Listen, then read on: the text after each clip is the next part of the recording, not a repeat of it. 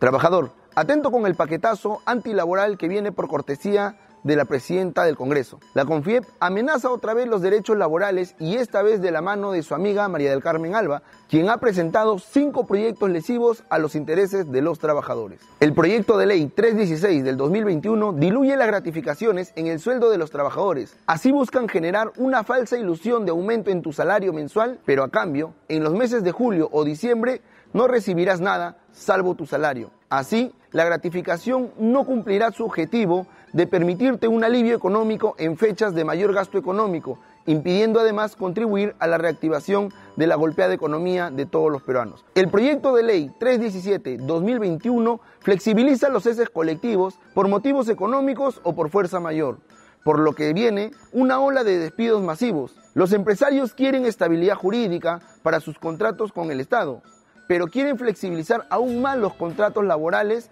y aplicar la política del cholo barato y descartable. El proyecto 318 del 2021 eleva la valla de trabajo a tiempo parcial de 20 a 24 horas a la semana en cualquier régimen laboral. Es decir, una amenaza que se puede aplicar a todos los sectores económicos. Si trabajas 20 horas, puedes mantenerte con el mismo salario y tiempo de trabajo, pero no recibirás CTS, que solo aplica a los trabajadores que laboran 24 horas a la semana. Trabajar más horas por el mismo precio o trabajar las mismas horas por menos dinero es lo que quiere la presidenta del Congreso, María de Carmen Alba, y por supuesto la CONFIEP. El proyecto 319 del 2021 otorga facilidades para que los pensionistas de las Fuerzas Armadas y la Policía Nacional del Perú puedan ser contratados por el Estado y recibir pensión y un salario del Estado.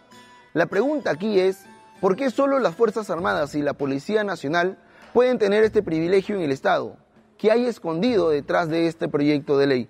¿Aló, almirante? El proyecto 320 del 2021 pretende una doble deducción del impuesto a la renta en beneficio de los empresarios por contratar a personas menores de 29 años y mayores de 55 años, legalizando así una discriminación laboral por edades. El proyecto de ley 321 del 2021 facilita la contratación temporal, lo que apunta a eliminar en la práctica el contrato por tiempo indefinido que beneficia al trabajador con cierta estabilidad laboral después de cinco años de permanecer en su puesto de trabajo.